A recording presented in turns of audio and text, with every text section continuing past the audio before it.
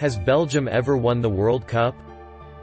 The two countries have met each other twice in the history of the FIFA World Cup, with one win for Belgium USA 1994 and one tie France 1998. Belgium's best finish in the World Cup is third, at the Russia 2018 tournament. Belgium previously finished fourth in the Mexico 1986 competition.